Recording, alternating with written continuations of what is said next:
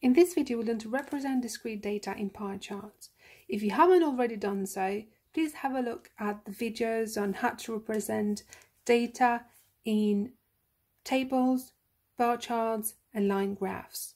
So, pie charts, just like the name suggests, it, it, it does look like a pie. So it is a circle that we'll need to start drawing. So that's the first thing. I'll start with a dot, which is the center of the circle. And I'll actually bring this forward so that we can see it more clearly. And I'll zoom in.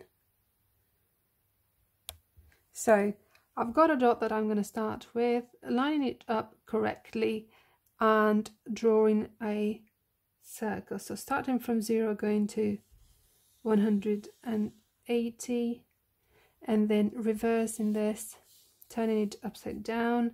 So again keeping the center where it is. And there we have 0 and 180 just where they need to be. So I will now draw the rest of the circle. You could use a compass to do this as well. So I've got the circle and I've got the center of it as well. So what I'm going to represent is the number of learners doing level 1, level 2 and GCSE in year 2018. So it is this column that I'm looking at. So we've got level 1, 250, level 2, 432 and GCSE 604 that's out of the total which is 1286 because we're going to need that to work out how many degrees will each of these slices or sectors be represented by. So let's start with level 1 so that is 250 250 out of 1286 so that's one way of working it out. That's what it is 250 out of 1286 so that gives us the decimal. So I'll use a calculator to do that. So we got 250 250 divided by 1286 so that gives us the fraction and then we have the decimal. So that's what part of the circle level 1 represents. So it is like looking at 20% so roughly it's like splitting this circle into five equal parts and almost one part will be represented by level 1 but we don't want to round the figures here. We don't want to estimate. What we want is the exact number of degrees. So for that reason, that's what part of the circle. And we know that there are 360 degrees in a full circle. So what I'm going to do is I'm going to multiply this by 360. And that gives me the number of degrees. So times 360 gives me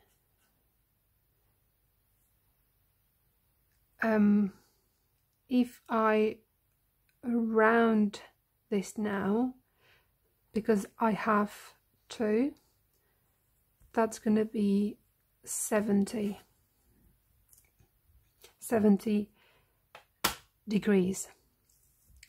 So I like to start from the top, but you could start anywhere really.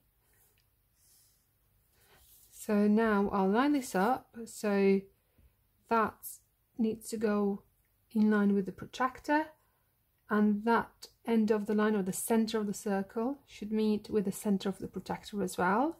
So that's the point there. Right on top and we need to go to 70 degrees. So we got we start from where the line is wherever the base. So we go 0 10 20 30 40 50 60 70 and that's where I need to stop at 70. Now you can see numbers underneath as well, but we start from zero, just like we do with the ruler. So I will follow the numbers at the top in this case. If my line was here, then I would start in this direction and look at numbers from 0, 10 and so on. So we've stopped here at 70.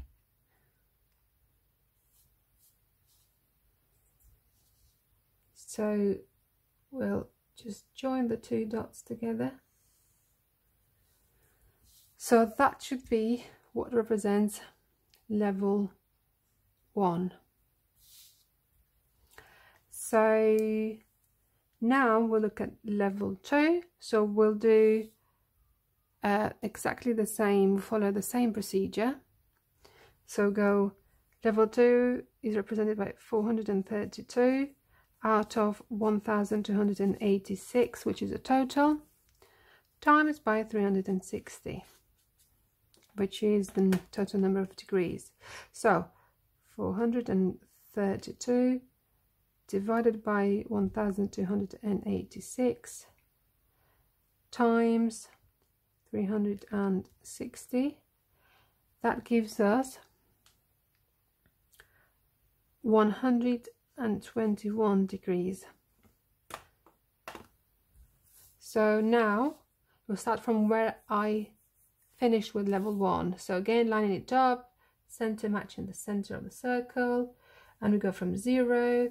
We need to go to 121 so 121 is just here. Again connecting this with the center. Now what we have here is the GCSE part but we want to make sure that we've got it right so I'll do the calculation for GCSE as well, although it's the only one that we've got left. So um, we've got the number of GCSE learners is 604 out of 1286 times 360 and let's see if it gives us the number of degrees we have here allocated for GCSE. So 604 divided by 1286 times 360 that gives us 169 degrees. So let's measure this so right. So we're going from 0 to that's just under 170 which shows that we did the rest of the calculations right as well. So this is the GCSE part. So to make this clear we would color them in different colors so level one. Level two. And GCSE we'd give this a title so I would say number of learners enrolled on level 1 2 and GCSE maths courses at Mars Maths in 2018 so it's very clear that we're talking about a specific year. So the, the title would be exactly the same one that we used for the table and the bar charts.